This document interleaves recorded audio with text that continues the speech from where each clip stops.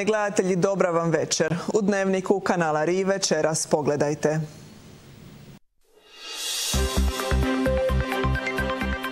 Županijski vijećnici usvojili rebalans proračuna koji je porastao za 5,8 milijuna eura. Najveći dio se odnosi na uh, ustanove zdravstva, 3,8 milijuna eura. Grad Rijeka, vodovodi, kanalizacija i čistoća razvrgnuli suvlasništvo nad sedam nekretnina bivšeg Teri Kroteka. Grad komunalnim društvima treba isplatiti više od 2,5 milijuna eura. Žargonski rečeno, što je to drugo nego nastavak upumpavanja novca u gradska poduzeća, sjetimo se samo nedavne dokapitalizacije Energa. U sklopu dana karijera sveučilišta u Rijeci održan sajam poslova. Potencijalni poslodavci prepoznaju koliko je važno na vrijeme doći do studenata, do kvalitetnih mladih ljudi. Zdravstveni turizam u Hrvatskoj svake godine privlači sve veći broj gostiju. Ako kažemo da je u proteklih četiri godine bilo gotovo 250 tisuća gostiju na Kvarneru i Primorsko-goranskoj županiji zbog usluga u zdravstvenom turizmu, Vrijeme sutra umjereno i pretežno oblačno s kišom, mjestimice i obilnijom, a ponegdje su mogući pljuskovi i grmljavina. Županijska skupština većinom glasova podržala je drugi rebalans proračuna kojim se konsolidirani proračun s početnih 250,5 milijuna eura povećava za 5,8 milijuna eura. Rebalansom se pomaže proračunskim korisnicima, prvenstveno iz sektora zdravstva i socijale da podmire rashode i ostanu likvidni. Županijska skupština podržala je drugi rebalans proračuna kojim se konsolidirani proračun s 250,5 milijuna eura povećava na razinu od 256,4 milijuna eura. 5,2 milijuna eura odnosi se na povećanje rashoda proračunskih korisnika. Najveći dio se odnosi na uh, ustanove zdravstva, 3,8 milijuna eura, 1,4 milijuna eura na ustanove školstva, a uh, socijala čak i smanjuje rashode koje sami, sami financiraju, dok drugi korisnici, agencije, javne ustanove, priroda i tako dalje, povećavaju za 100 tisuća eura, oni se međusobno prebijaju. Manji dio otprilike 0,6 milijuna eura se odnosi na povećanje rashoda koje financira sama županija. Ovih 0,6 milijuna eura u stvari je rezultat povećanja e, prihoda iz općih izvora, prije svega poreza, poreza na dohodak, 1,2 milijuna eura, pa onda tu su pore, ovoga, županijski porezi 100 tisuća eura, a tu je i povećanje prihoda od cesta rijeka skoro 200 tisuća eura. Namjenski prihodi i primici smanjeni su za 0,9 milijuna eura. 800 tisuća eura se smanjuje planirano zaduženje za školu Marinići, jer se postoji velika vjerojatnost, odnosno prošli smo prvi krug da se ta škola financira iz NPO-a, tako da se taj dio zaduženja planira maknuti u ovom drugom rebalansu i smanjuje se 100.000 eura prihodi od prodaje nefinancijske imovine. Član Skupštine Josip Katalinić podnio je dva amandmana i to za povećanje iznosa za program zaštite okoliša i poticanje sporta o kojima se nije glasalo s obzirom da u formalnom pravnom smislu nisu valjani. Ne ispada da smo mi protiv, mi smo za ovo što vi govorite, barem sam ja za. Tako da ću ja za, u proračunu za ovu iduću staviti tu stavku. U raspravi oko rebalansa članovi Skupštine uputili su primjedbe oko raspoloživih sredstava vezano uz pojedine projekte, poput kupnje terenskog vozila HGSS u Delnice, županijske linije cestovnog prijevoza putnika i nabavku defibrilatora u Brodu na Kupi. Ja sam kontaktirao gradonačelnicu e, općine Delnice, grada Delnice naravno i HGSS i dogovoreno je da se znači ta sredstva planiraju u proračunu za narednu godinu. Krenuli smo u jednu pomalo onako zanimljivu, ovaj, zanimljivu prijavu putem sveučilišta u Rijeci u projekt EDIH. Projekt EDIH je digitalni informacijski novi sustav gdje pomoć određenih pametnih tehnologija i digitalizacije možemo dobiti do puno boljih informacija kako optimalno odraditi te e, županijske, županijske linije. Vezano uz defibrilator, pročelnica Vesna Čavar pojasnila je da je nabavljen preventivno na zahtjev mjesnog odbora Brod na Kupi s obzirom na veliki broj posjetitelja koje privlače lokalne manifestacije kao i turistički sadržaji, a bit će postavljen u javnosti. A prije dnevnog reda održan je aktualni sat. Bilo je riječi o opstanku zračne luke Rijeka, kao i o postavljanju defibrilatora u škole. Zračna luka Rijeka opet je bila jedna od najaktualnijih tema. HDZ-ov vijećnik Sanjin Vrkić postavio je pitanje o padu broja putnika i problemu komunikacije između uprave i turističke zajednice Kvarnera kao nositelja projekta udruženog oglašavanja te pozvao župana Komadinu da se osobno uključi kako bi se boljom komunikacijom pokušao riješiti problem. Spada da sam ja direktor svega što je u teškoćama. Da ne nabrajam sad sve firme zbog kojih sam razno razne intervencije i pozive imao i razgovarao sa državnim tijelima i tako dalje. Strukturu vlasništva ste vidjeli. Znači mi smo 20%. I samo i stalno se pita nas. Ovo vaše pitanje ja ću proslijediti direktoru zračne luke da se on očituje zašto je promet takav kakav je. Vječnik Vice Se postavio je pitanje o mogućnosti opremanja školskih sportskih dvorana defibrilatorima s obzirom da je osnovna škola Srdoći trenutačno jedina osnovna škola u Županiji koja ga posjeduje. Što se tiče školstva da smo, da smo na jednakim razmišljanjima i svakako treba obratiti pažnju na ovo malo više nego što smo možda do sad jer smo uvijek razmišljali mladi su zdravi. Jesu, zdravi su dok se ne dogodi nešto. Svjesni ste i sami i svi mi zajedno da je to problem. Znači dogovoreno je, sad je na županu, ne znam da li se može onda osigurati i vi kao pročelnici da se izborite da ako smatrate da je, a rekli ste da je potrebno, idemo se izboriti da se onda uz proračunu za 24. osigura, pa ajmo prvih 10 postaviti, to je nekih 40 tisuća eura, možda i manje, pa ćemo tako iz godine u godinu i pomalo ćemo riješiti stvari. Predsjednik Skupštine Marko Boras Mandić tražio je razloge kašnjenja radova na novoj četverosjedežnici na Platku u sve pohvale toj investiciji. Ja osobno nisam osjetio potrebu na bilo koji način e, dodatno pristiskati izvođača obzirom da i tako nije bilo omogućeno da se četverosedežnica upogoni za skijašku, primarno za skijašku e, sezonu 2022-2023, a obećano je i dogovoreno je da ona bude spremna upravo za ovu iduću skijašku sezonu. Naime, četverosedežnica dovozi na vrh Radeševa duplo veći broj skijaša nego što dovozi ova stara. I samim time bi trebalo se urediti i druga staza Radeševo 2 da se oni raspeglaju na dvije staze. Bilo je riječi i o domu za starije osobe u Kostreni i uključenosti županije u njegovu realizaciju. Župan Komadina je odgovorio kako je općina Kostrena, budući da je jedina imala gotovu dokumentaciju, na natječaj ministarstva prijavila taj projekt za kojeg joj je nedavno odobreno nešto više od 6 milijuna eura. Župan je istaknuo kako je općina projektirala dom u vrijednosti 20 milijuna eura s više struko većim kapacitetima od potreba općine. Danas su vijećali i gradski vijećnici. Na sjednici se ponovo našla točka o razvrgnuću suvlasničke zajednice grada Rijeke, komunalnog društva vodovoda i kanalizacije i čistoće nad nekretninama bivše kompleksa Teri Krotek u ulici Milutina Barača. Ovaj put većina je izglasala prijedlog, kao i četvrti pokušaj davanja koncesije prostoru Palače Šećerane za obavljanje turističke djelatnosti. U stečajnom postupku Teri Kroteka 2015. grad Rijeka, Viki i Čistoća postali su suvlasnici 11 nekretnina u prostoru nekadašnjeg torpeda. Odlukom gradskog vijeća danas se razvrgava suvlasništvo nad sedam nekretnina, čija se vrijednost procjenjuje na 7,2 milijuna eura. Napravili jedan novi prijedlog koji je ovdje sada pred vama, u kojem u stvari dio nekretnina grad Rijeka e, kupuje od komunalnog društva e, čistoća i u jednom dijelu se namiruju određene novčane tražbine. Grad Rijeka će tako čistoći nadoknaditi razliku u iznosu od 2,5 milijuna eura, odnosno vodovodu i kanalizaciji oko 66 tisuća eura, dok će komunalna društva svoja međusobna potraživanja riješiti naknadno.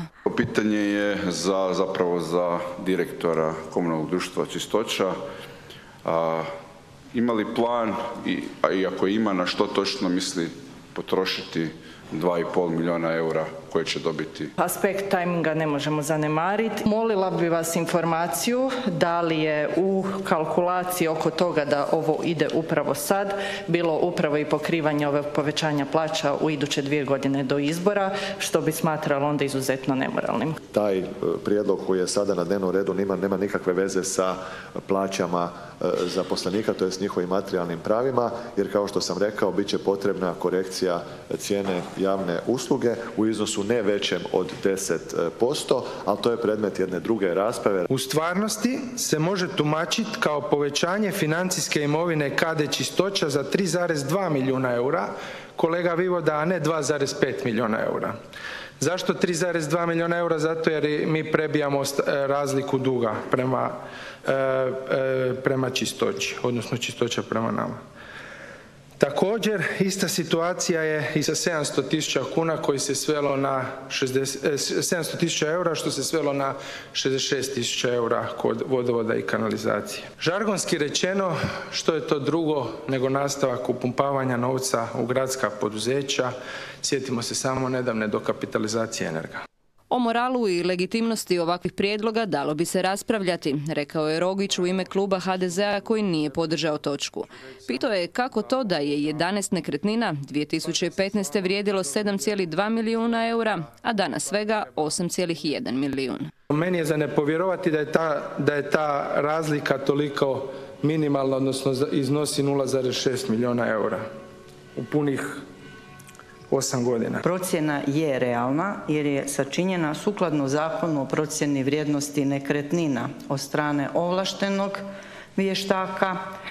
E, tu procjenu prihvatilo je povjerenstvo grada Rijeke koje nije sastavljeno samo od djelatnika grada Rijeke pa da se može govoriti kako su bili pristrani. Među predmetnim nekretninama su hotel i upravna zgrada nekadašnje tvrtke, poslovne zgrade, reciklažno dvorište, kuća domara i hale. Ne može čistoća se javljati na natječaj za obnovu spomenika kulture, nego gradi Rijeka. U tome se radi. Nije, samo da, da, da se radi o nekakvim tamo skladištima, ne znam, to su spomenici kulture. I zato treba donesti ovu odluku, a to da, da, će se opumpavati novcu čistoću, nažalost, to je tako. S 18 glasova za i 12 suzdržanih prošao je nacrt ugovora o koncesiji dijela Palače Šećerane za obavljanje usluga u turizmu. Riječ je o prostoru sa, uh, u Krešimirovu koji gleda izravno, znači i Šećerana koji gleda izravno ima izlaz na Krešimirovu uh, koji je velik 101,30 kvadrata, sastoji se od dvije prostorije i posebnog sanitarnog čvora. Odbor za kulturu nije prihvatio prijedlog. Predlaže se infopult od 101 kvadrat, predlaže se marketinška ili trgovačka agencija. Takva jedna statična djelatnost prema razmišljanju odbora za kulturu nije primjerena onom što bi se u art kvartu trebalo dešavati, a to je da se okupljaju ljudi i da, se, da ovaj kvart e, oživi. Za taj su prostor do sada bila objavljivana tri natječaja, a prema ugovoru o bespovratnim sredstvima koje su se dobila za palaču šećerane, uvjet je bio da koncesionar ima četiri zaposlenika. A sada je odobreno da ima samo jednog. Aktualni sat gradskog vijeća problematizirao je razne gradske teme, od nove ceste D403 preko sportskih sadržaja te utjecaja vremena i obilnih kiša u gradu koji u neke dane doslovce teče. Svaka obilnija kiša u rijeci uzrokuje prometni kaos. Bilo je tako u utorak navečera. Prema najavama vremena situacija bi se mogla ponoviti i do kraja tjedna.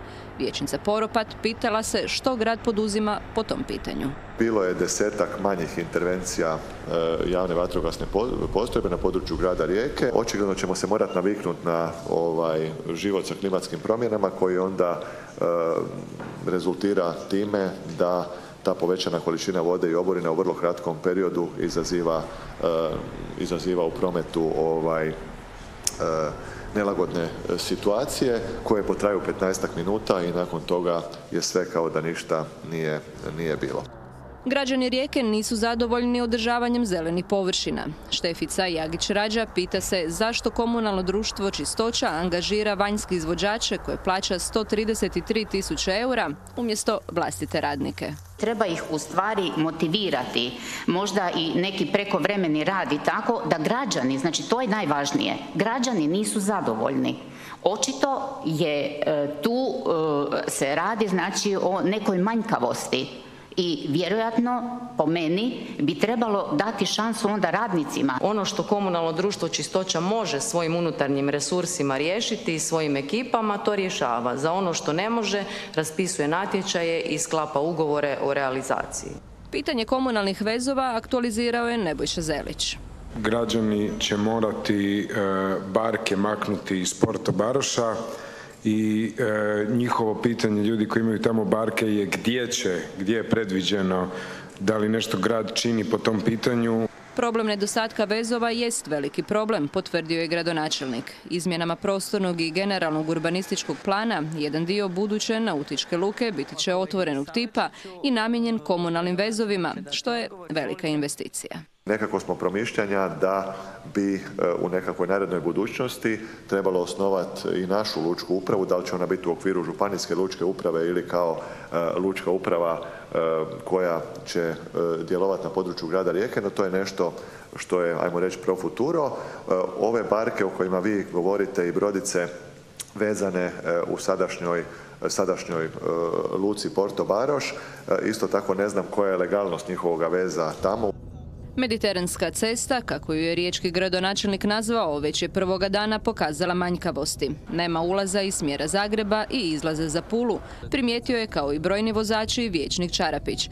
Hrvatske ceste donose privremeno rješenje. Obećali su u vrlo kratkom roku da će omogućiti da kada dolazite iz smjera Zagreba idete prema e, Istri i e, slovenskoj, slovensko-hrvatskoj granici, e, da će biti mogućnost da se skrene na samu cestu i posljedično tome ovaj priključak i na Zvonimirovu i na Baračevu ulicu, to je kontejnerski terminal budući, a isto tako jednim privremenim rješenjem osigurati i skretanje svih onih koji dolaze iz smjera E, Mlake ili Baračeve ulice da mogu skrenuti u Pulu. To su privremena rješenja do izgradnje dva rotora. Iako njegova gradnja ni približno nije na vidiku, vječnik Robert Salečić pitao je gdje se sele sportski klubovi kada krene obnova stadiona Kantrida. Za zamjensku lokaciju razmatra se prostor sveučilišnog kampusa. Drugi po redu dani karijera sveučilišta u Rijeci održavaju se od ponedjeljka. Središnja aktivnost je sajam poslova Uniri Job Fair koji je okupio brojne studente i poslodavce. Interes poslodavaca za budućom kvalitetnom radnom snagom dobro opisuje stanje na tržištu rada. Čak 30 poslodavaca ostalo je na listi čekanja za prezentacijom na ovogodišnjem sajmu poslova na kampusu Sveučilišta u Rijeci. Potencijalni poslodavci prepoznaju koliko je važno na vrijeme doći do studenata, do kvalitetnih mladih ljudi, odgovarajućih kompetencija i na neki način prepoznajem uistinu među onima ovdje pravu kremu, da tako kažem, ljudi koji promišljaju uspješno svoje tvrtke i znaju da ona počiva na ljudima, odnosno na dobro educiranim studentima. Poslodavci iz svih područja gospodarstva svake godine dolaze u potrazi za novim kadrovima. Petu godinu nizu smo na Career Daysima koji se pokazuju stvarno kao jedna lijepa platforma za privlačenje novih kandidata, za scouting talenata, slobodno mogu reći, pogotovo mi iz tem područja gdje smo stvarno u velikoj potrazi za novim talentima, za novim kadrovima i nadamo se da će i ove godine proći veoma uspješno. Promijenila su se vremena kada su studenti obilazili sa životopisima potencijalne poslodavce i tražili poslove.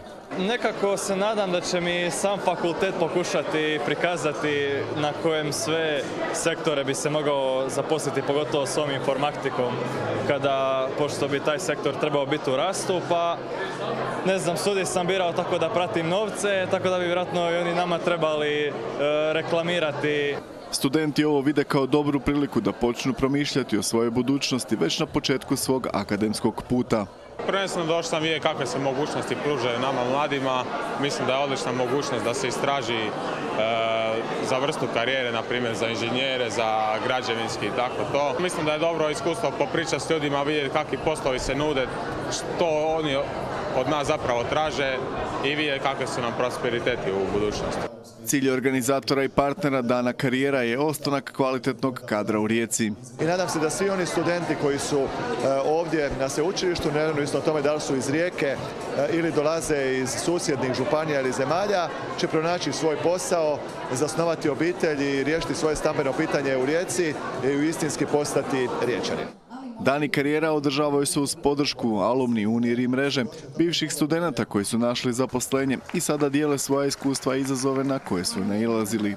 Kažemo, jako to možda naši studenti ne doživljavaju e, na isti način, da su oni sretne generacije, jer uistinu potreba za radnom snagom ovog trenutka u Hrvatskoj, ne samo dakle e, PGŽ, ne samo Rijeka, ne samo Hrvatska, nego i šire je ogromna. Mi njima poručujemo ostajte ovdje, e, vjerujemo da su oni naš intelektualni kapital.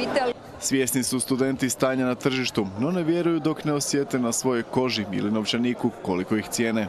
Za početak očekuju da ih sveučilište učini konkurentnim na tržištu rada. Na neki način e, naše nove generacije, kažemo generacije Z, su generacije koje od svojih sveučilišta uistinu očekuju puno više nego što je to e, nekada bilo. Očekuju da ih savjetujemo, da im pomognemo, da ih učinimo uistinu konkurentnim budućim e, tražiteljima, tražiteljima posla.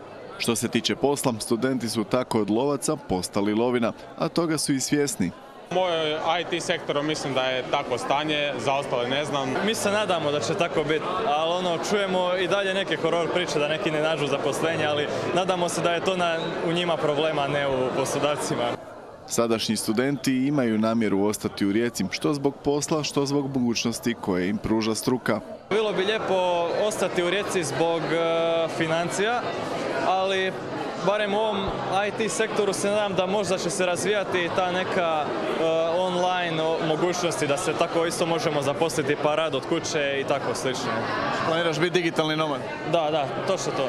Iako je intencija sveučilišta bila da se sajam održava blizu studenata, ovogodišnji interes natjerao ih je, kako su nam potvrdili, da će za drugu godinu tražiti veći prostor i izaći iz područja kampusa.